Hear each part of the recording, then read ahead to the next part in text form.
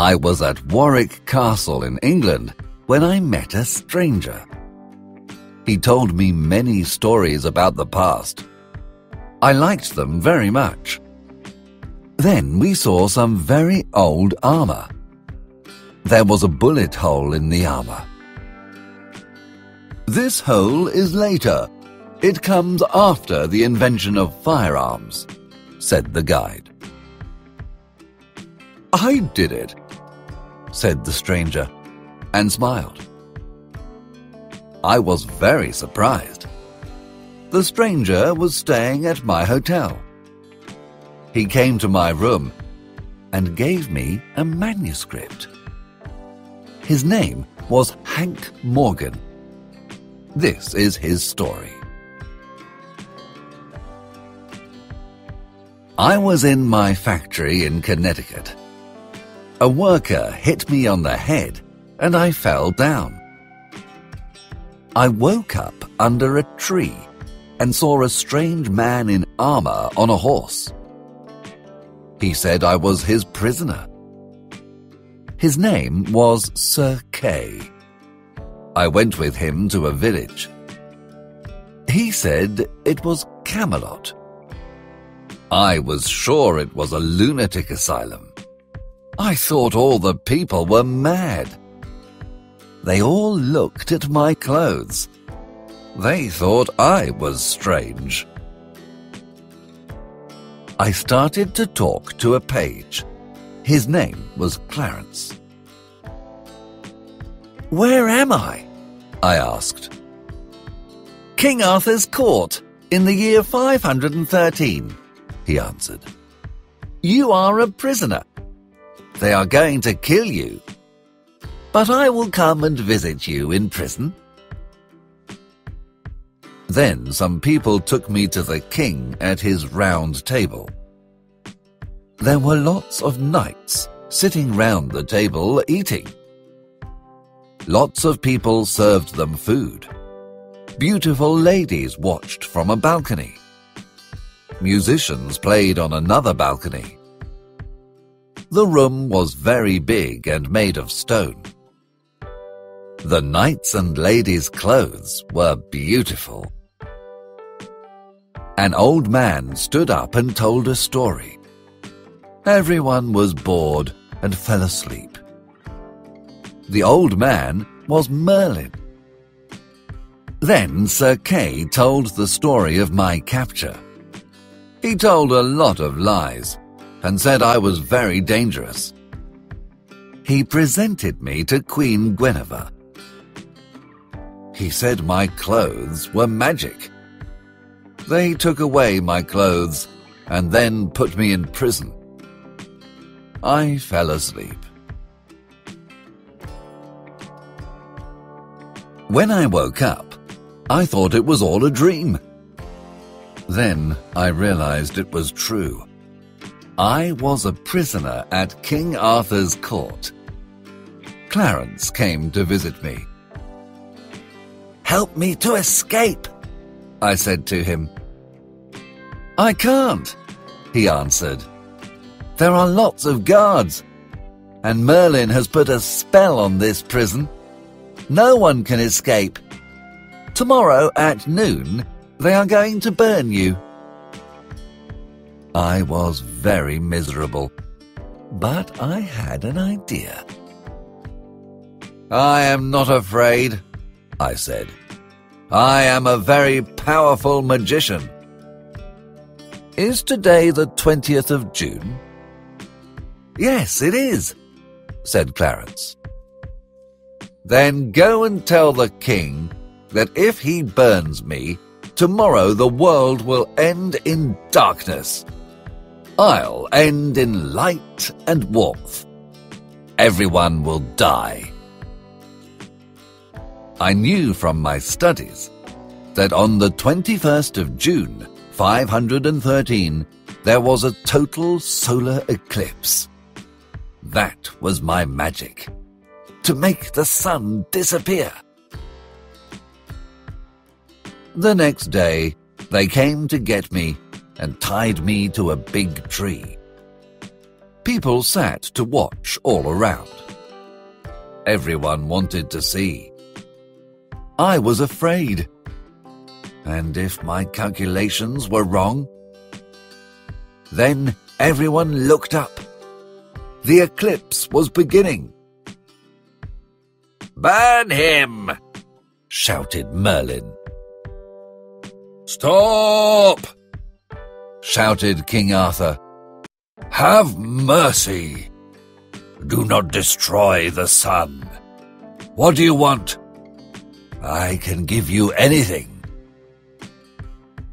I said I wanted to be his minister and help him, and he agreed. The solar eclipse was now total. Everything was dark. So I pointed to the sun and shouted, Pass away and do not harm us. The sun started to come out again, and everyone was happy. I became the first minister and the most powerful man in Camelot. Clarence was my assistant. I had beautiful but very uncomfortable clothes and the best rooms after the king. People came from all over the country to see me. I was famous, but they wanted another piece of powerful magic from me. Merlin was in prison. He was my enemy. So I said I wanted to explode his tower with fire from the sky. His tower was an old Roman one and very solid. One stormy night, I filled it with gunpowder and attached a metal stick to it. Then I told everyone to gather, and we watched as the lightning hit the tower and it exploded. Everyone was afraid. They thought I was a very powerful magician. As time passed, I realized that the people in Camelot were like children. They were very simple. They couldn't read or write, and they were not logical. They believed everything they heard. I started to open secret schools and a secret military academy. I put down telephone wires to have telephones. I wanted to create newspapers. I taught Clarence to be a journalist. The king and the nobles believed they were better than me because I was not noble, but they respected my intelligence. I thought I was better than them because I was intelligent, but I liked them. No one admitted all this, and we got on very well. After four years, King Arthur was very happy with my work. He was richer because I managed his money well. I also distributed it better, and the people of Camelot were happier. They started to call me the boss. I liked it. The main entertainment at Camelot was jousting. Hundreds of knights took part and many were injured. Sometimes the knights went to save princesses from dragons. They believed in dragons and giants. One day a girl came to Camelot. Her name was Alisande la Carteloise. She said her mistress and 44 girls, many of whom were princesses, were captive in a castle. The guards were three huge men with four arms and one eye. At Camelot, they decided I had to rescue them. I decided it was time for a holiday, so I agreed. I asked Alisande questions. She couldn't tell me anything. Where is the castle? Many miles away, she answered. How many? I asked. I don't know, she said, They all look the same. I got up early and had breakfast. Then I put on my armor. It took a very long time. There were many pieces, and I couldn't move or do anything. They had to carry me out and lift me onto the horse. I felt like a ship going to sea. Then Alisande climbed onto the horse behind me. She had to show me the way to the castle. We started out, and everyone waved goodbye to us.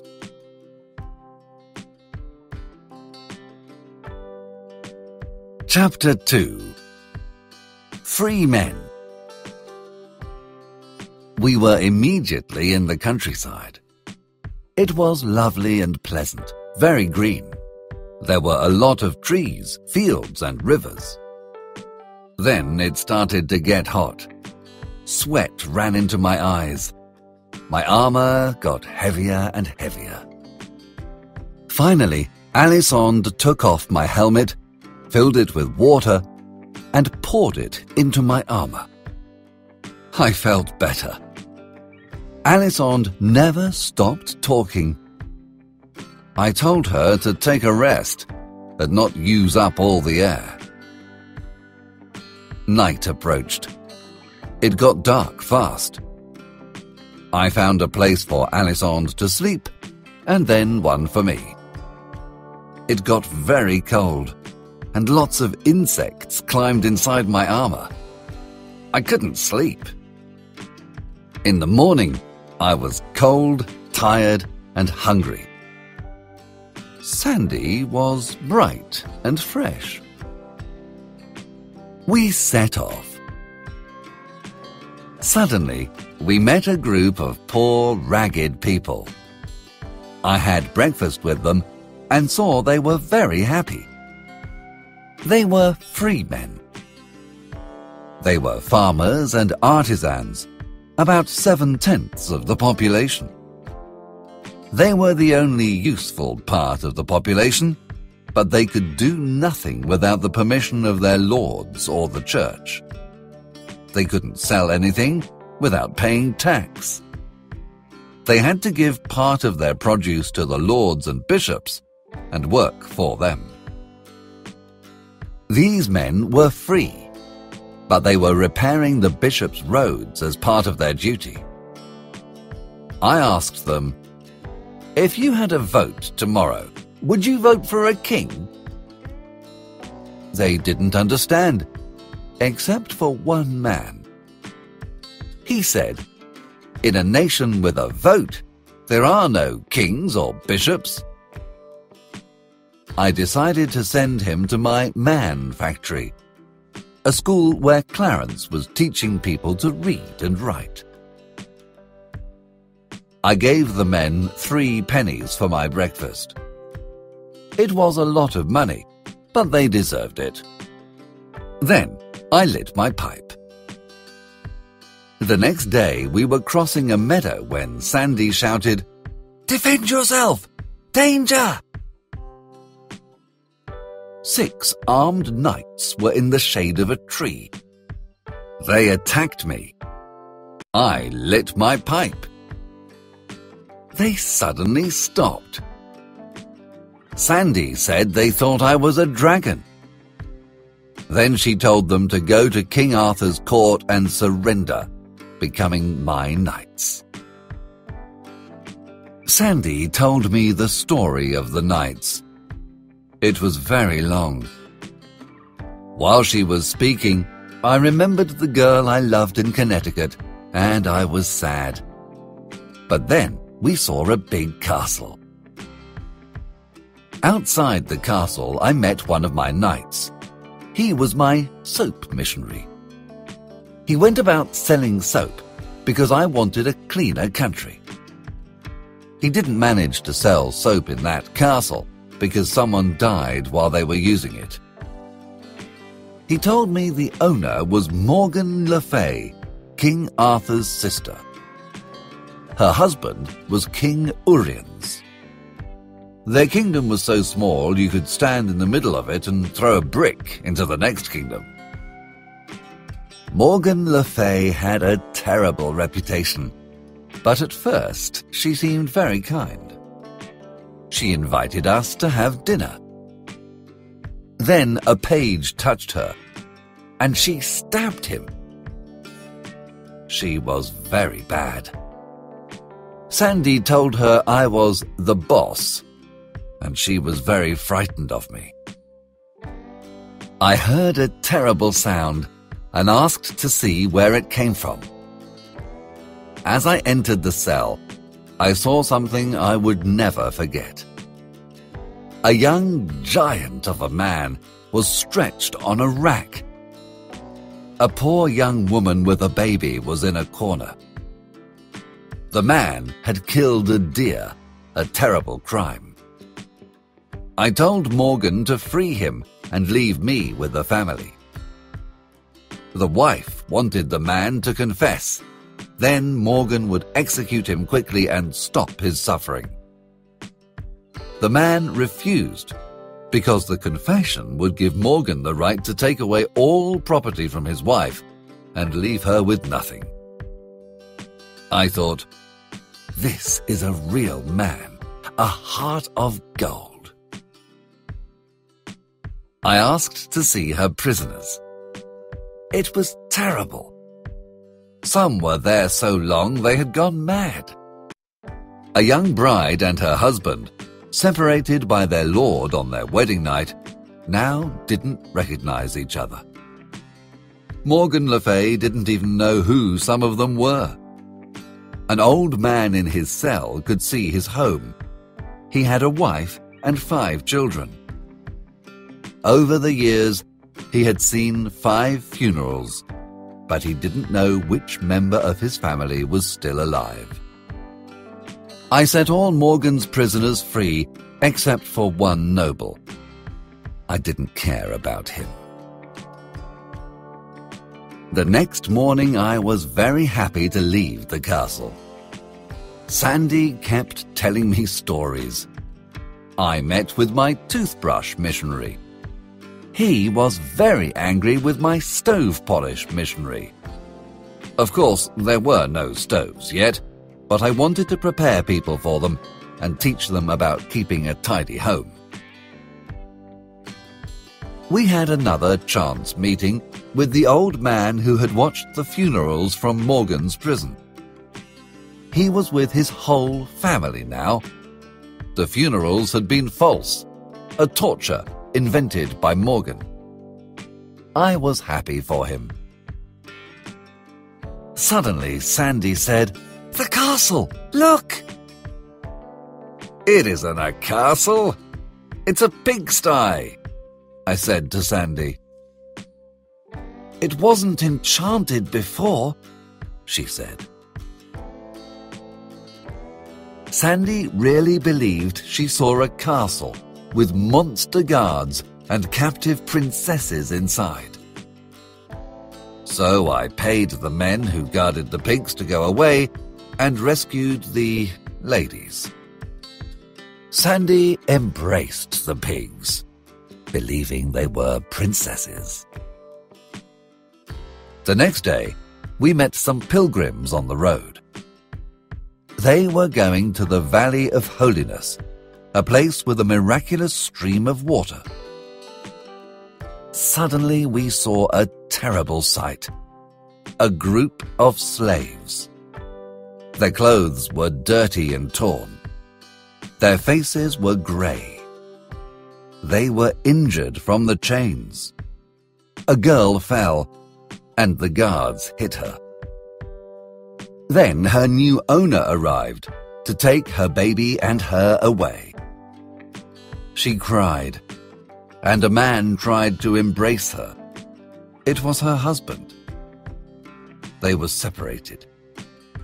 They would never see each other again. I still feel terrible when I think about that scene today. I will never forget it. We arrived at a pub where I met a knight I knew. He was my stovepipe hat missionary. He wore armor with a hat instead of a helmet. He said there was a terrible problem in the Valley of Holiness. The water had stopped. Merlin was there now. He was trying to make the water come back with magic. I sent a message to Clarence. Send me pipes, extensions, and two trained assistants.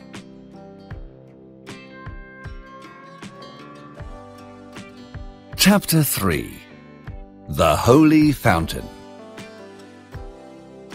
We travelled quickly with the pilgrims and arrived in the Valley of Holiness before sunset. All the people there were sad. I met the abbot. Hurry, my son, he said. Save our valley, or we will lose two hundred years of work. But do not use the devil's magic. I only use God's work, I said. But what about Merlin? He promised to, but please try immediately, answered the abbot. I can't, I said. It is not fair. I must wait until Merlin stops. I asked to see the well. I made an inspection and realized that the well probably had a leak. I went down the well and saw there was a big hole at the bottom. That was the problem, but I had to wait for Merlin to stop. The next day, I decided to visit some hermits. They were all very dirty and very strange. One had chains. One was naked and black with dirt. One stood on a pillar and moved up and down. Eventually, I attached a sewing machine to him and made shirts. It made a lot of money. Soon, Merlin decided to give in. So, with my assistance, I repaired the well and put in a pump. Then we made a tunnel for the water to flow outside, too. I put down some fireworks. I called everyone and started the miracle. I said very big, strange, invented words. Everyone thought they were magic. Then I lit the fireworks and the water started to flow. It was a huge miracle. Soon after, I asked if the monks wanted a bath. They were horrified. Baths were forbidden because people having baths stopped the water in the past. But I told them it was a different problem that stopped the water, not the bath. They were very happy and loved the swimming pool I built for them to wash in. One day I was walking in the valley when I heard a voice in a cave. It was one of my telephone operators. I asked to speak to Camelot and learnt that the king and the court were coming to visit the valley. When I returned to the monastery, I had a horrible surprise. A new, giant magician. He said he knew what everyone was doing. The Emperor of the East, the Supreme Lord of India, and others. Everyone believed him and was very surprised. I asked, What is my right hand doing? He didn't know. He was very worried. No one had ever asked that sort of simple question before. Then I asked, What is the king doing? He answered, He is sleeping in the palace. Everyone was amazed, but I answered, he isn't. He is travelling by horse. He will be here in three days. No one believed me, but I checked every day with my telephone operators, and when the king was arriving, I announced this to the abbot. People immediately stopped believing the false magician and believed me again. It is not difficult to be a successful magician in King Arthur's time, but it is hard work, and you can't rest. When the king arrived, he told me about his new army. I was not happy. I had a military school and I wanted to make my students officers. But when we had an examination of the candidates, the nobles did not accept my men. They only accepted other nobles who were stupid and ignorant. My men were very well prepared, but they were not noble. Another problem with these people and their strange ideas. I had another idea. A new regiment consisting only of nobles, to keep them happy. And then the rest of the army made up of my soldiers, the real army. Everyone was happy. I decided to go on a trip through the kingdom to see the general conditions. The king wanted to come too, and told me to wait. He had to do his ceremony. He touched the sick and cured them. Often it worked. People were convinced his touch was magic, and their belief made them better. The king did his best. He was a good man. The ceremony was very long, and I was bored. He touched every sick person and gave them a coin. I decided to stop the gold coins and make copper ones. This saved the kingdom a lot of money. During the touching ceremony, I saw another of my innovations, a newspaper. I was very happy with the result. It wasn't perfect, and I wanted to improve it, but it was good enough, and everyone was amazed by it. I was as proud of it as a mother of her new baby. I suggested the king tell Queen Guinevere of our departure, but he was sad. When Sir Lancelot is here, the queen doesn't notice if I arrive or depart, he said. I was sorry for him. I thought the queen was beautiful, but not very intelligent. Later that evening, I helped the king to dress himself as a peasant, ready for our journey into his kingdom. I cut his hair short. Nobles had long hair cut short at the front, and peasants had short hair, and the slaves had long hair. I cut his hair like a peasant and gave him a long, simple tunic. We left early in the morning. On the road, some noble people passed. I had to tell the king to bow to them. He didn't know how to behave. He wasn't good at bowing, and one of the nobles tried to hit him. I stepped in and he whipped me instead. Next, we met two knights. The king did not move off the road.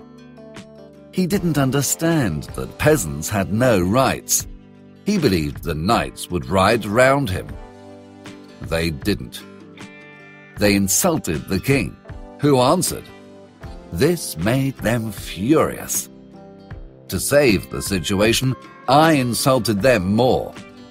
They turned and started to attack us, so I threw some dynamite at them, and they exploded. The king thought it was magic. I told him I could not repeat it another time, he said, You must read my thoughts and stop me before I make mistakes. I can't, I answered. He was amazed. But Merlin can, he said. I realized I had made a mistake. I said, Merlin can see a few minutes into the future. I can see centuries into the future. I don't bother with small prophecy like Merlin. He was convinced. Chapter 4 The Yankee and the King On the morning of the fourth day, when the sun was coming up, I decided to drill the king. Sir, I said, you are too like a soldier, a lord. This is not good. You must try to look poor and miserable. The king tried to walk like a poor peasant, but he was not convincing. He had too much spirit. I said to him, What will you say when we ask for hospitality in a house? Varlet, give me what you have, answered the king. No, you cannot say varlet. You are not a lord, I answered. You must say brother. The king tried his best. Give me the sack, he said.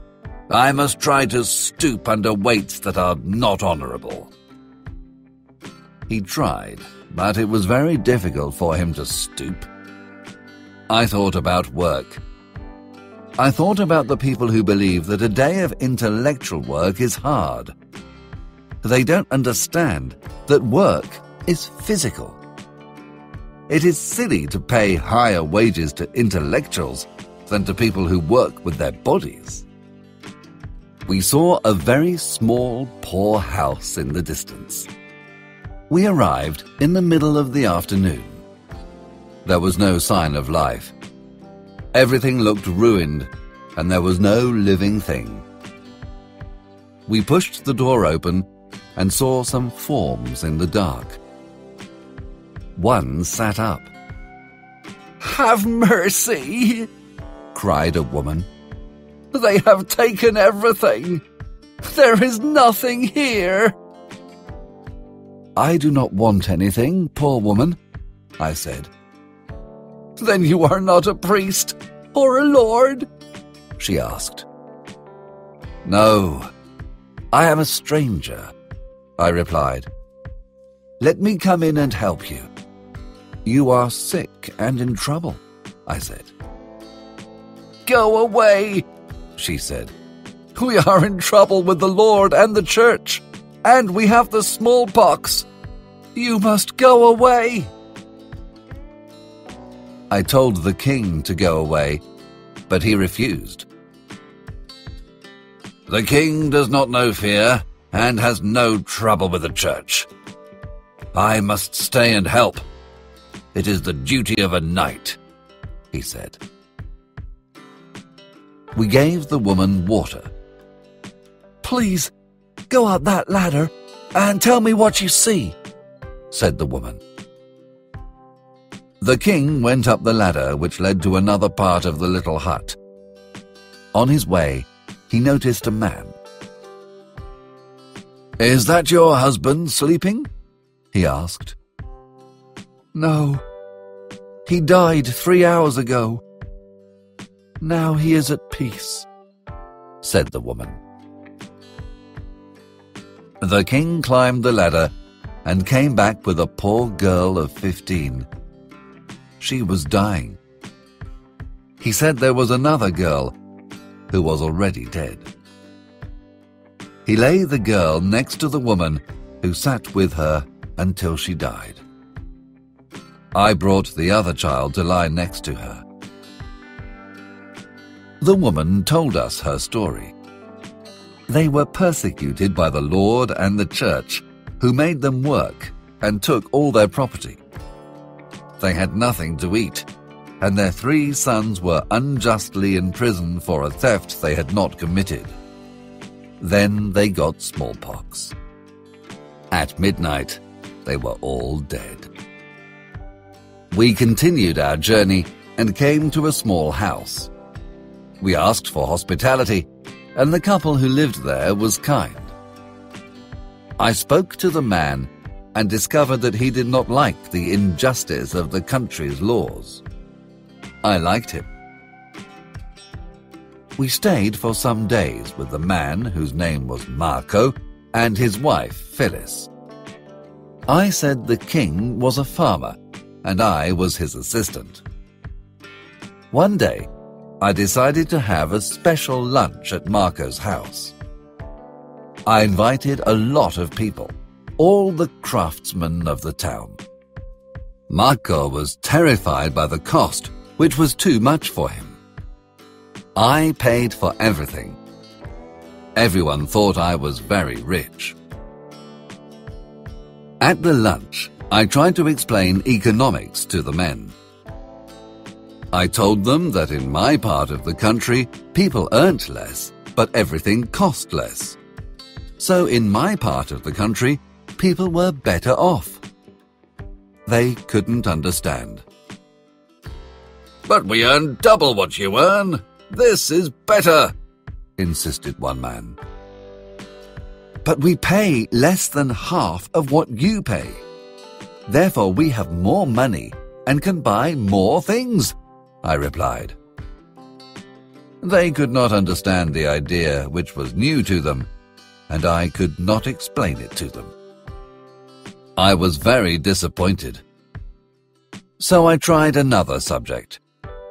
I talked about crime and punishment, and I said they were committing crimes by earning more than was allowed by their lord. This was a mistake. I thought we could laugh about it, but they were terrified. They didn't know me, and they were worried that I wanted to report them. The king started talking about farming, but he knew nothing about it. The men started to say that he was mad. One wants to betray us, and the other is mad, they shouted. A fight started, and the king was delighted, but I made him escape. We were in danger. We ran to the woods and hid in a tree but the people found us and wanted to kill us. Luckily, a noble arrived and saved us. He took us with him to a nearby town where he had business. Then we had another terrible surprise. He took us to the market and sold us as slaves. He sold the king for seven dollars and me for nine. I was offended I was worth at least 15, and the king 12. We were chained to the slaves by the master, who was hard and cruel. We got lost in the snow, and five people died. Then a woman arrived screaming and tried to find protection with us. The people in her village said she was a witch and wanted to burn her. Our slave master helped them we could not help her. Our master was angry about the dead slaves and revenged himself on this poor woman. Then we saw a procession. A young girl of 18 was sitting on a coffin in a cart. She had a baby. With her was a priest who told her story. She was a young wife and mother. Then the army took her husband away to be a soldier. She had no work and was starving with her baby. So she stole a small piece of linen. The judge decided to hang her. The owner of the linen felt so bad he committed suicide. She cried and held her baby. But the priest, who was very kind to her, made a speech against the laws and the sentence, and promised to look after the baby. There was gratitude in her face when she died.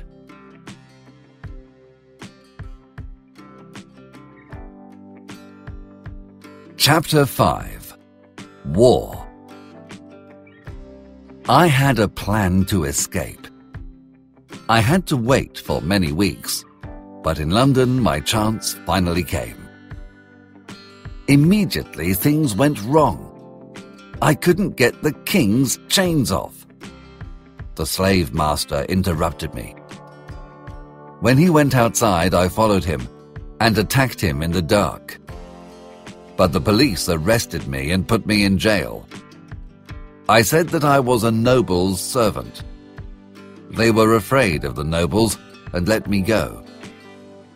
Then I discovered that the other slaves had killed the slave master. They were all in prison, condemned to death. I found a telegraph station and sent a message to Clarence. Send knights to save the king and I. They want to hang us. Tomorrow. Everyone in London was looking for me. They took the slaves about London to recognize me. Unfortunately, one of them saw me. They took me to the other slaves and decided to hang us that day. The knights would never arrive in time. It was too late. They took us to the execution place. The king tried to say who he was, but everyone laughed at him. They started to hang the slaves. Then they started to put the rope round the king's neck. It was dreadful.